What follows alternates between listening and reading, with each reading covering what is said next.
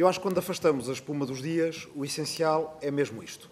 Portugal tem perdido muito valor em empresas que demoraram décadas a construir. Neste século perdemos muito valor. E quer o tenhamos perdido para empresários como David Neilman, quer para empresas controladas pelo Partido Comunista Chinês, o resultado é o mesmo. É que deixamos de ter alavancas para poder decidir acerca do nosso futuro. E na TAP este é mesmo o essencial.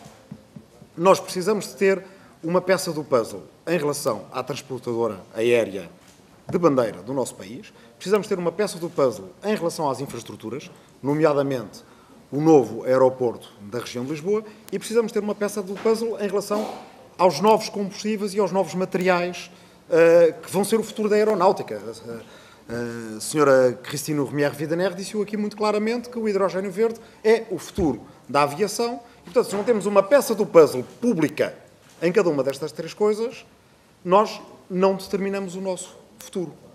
Ora, tendo uma peça do puzzle em cada uma destas áreas, elas são lucrativas e contribuem para os cofres do Estado português em condições que são aquelas do direito europeu e das, das regulações em relação às, às ajudas do Estado, que aliás nos protegem.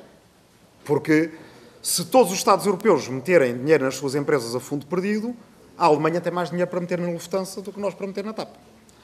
Portanto, a questão, eu sei que não nos quer dar qual é que é a sua opinião acerca do modelo de privatização, não lhe vou pedir, para o livro claramente é manter uma parte decisiva estratégica da empresa sob o domínio público, mas quero pedir-lhe quais é são os modelos de privatização.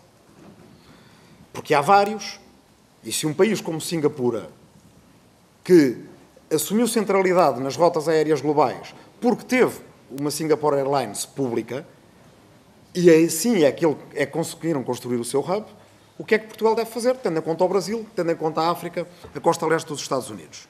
Para concluir, Sr. Deputado Rui Tavares. Para concluir, digo isto. Já ouvi aqui dizer várias vezes, eu não sou jurista, eu não sou economista, eu não sou nenhuma das duas coisas, mas há uma coisa que eu sei.